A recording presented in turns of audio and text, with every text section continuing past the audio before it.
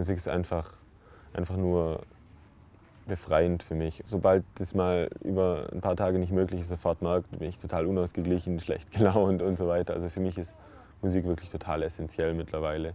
Dass ich Dinge, die ich einfach nie in Worte fassen könnte, kann ich in ein Lied fassen.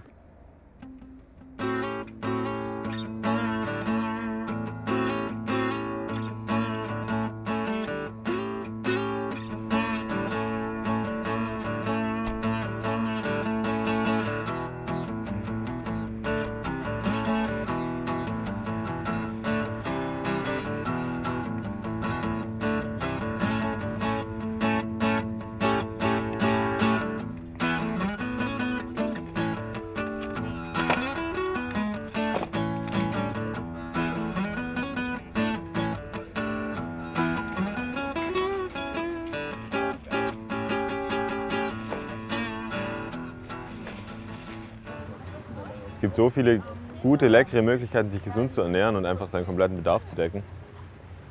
Und ich finde, gerade bei einer Radtour, wenn man auch noch viel denken muss, ist es schon sehr wichtig, dass man was Gutes isst.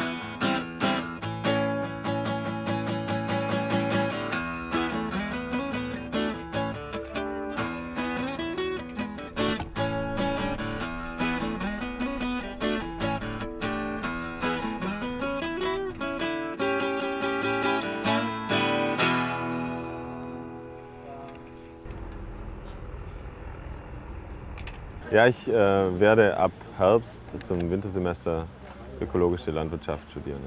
Einfach das tollste Gefühl, wenn man irgendwas von, vom Samen schon in der Hand hatte und dann nachher selber das dann auch noch kocht, den Rest auf den Kompost wirft und nächstes Jahr wieder in die Erde mischt und das andere dann isst. Das ist einfach unfassbar für mich, was da an Lebensgefühl drinsteckt. Nicht nur Nachhaltigkeit im Sinne von Unternehmen oder Einkaufen, sondern auch eben ernähren. Ich kann nur nachhaltig wirtschaften, indem ich weiß, das, was ich verbrauche, muss ich wieder in Wert stellen. Das heißt nicht eine Entsorgung, sondern eine Versorgungspolitik. Ich muss meine Produkte, die ich, meine Rohstoffe, die ich nutze in meinen Produkten, muss ich wieder in den Wert bringen, in den Kreislauf bringen, Kreislaufwirtschaft. Was wir brauchen, ist die eine Frage. Was wir tatsächlich benutzen, ist die andere Frage. Wenn es darum geht, brauche ich an sich nur meine zwei Liter Wasser pro Tag und meine Grundnahrungsmittel mit irgendeinem Energiegehalt. Alles andere ist Wohlstand.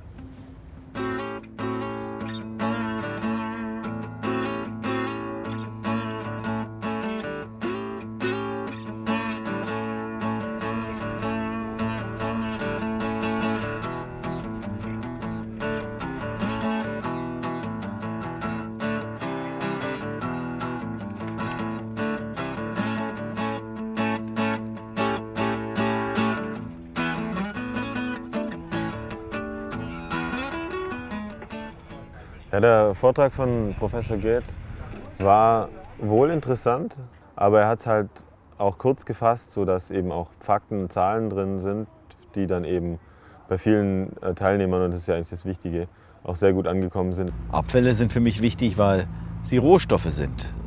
An sich sind es Wertstoffe am falschen Ort. Wir sind die Menschen, die Nation mit dem Spitzenverbrauch an Energie, an Rohstoffen wie Stahl, Kupfer und anderen Dingen, wie ich es Ihnen zeigen konnte mit dem Rohstoffverbrauch können wir nicht 40 Jahre überleben.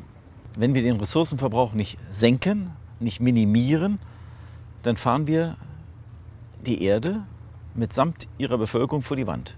Ja, das ist einfach unsere Aufgabe, das, das ein bisschen irgendwie ernsthafter anzugehen, dieses Thema, weil wir können nicht einfach hier alles ausbeuten und nehmen, nur weil wir es jetzt gerade brauchen und dann in zehn Jahren uns auch noch darüber aufregen, dass wir es jetzt nicht mehr haben, wo wir selber schuld sind. Das